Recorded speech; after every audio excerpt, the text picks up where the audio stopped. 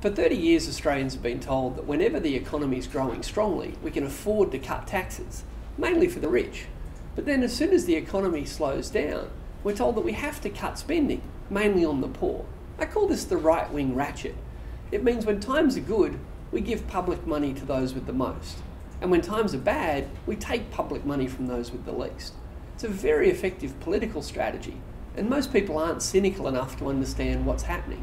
When times are good, we make permanent cuts to revenue, which actually cause budget deficits in the future.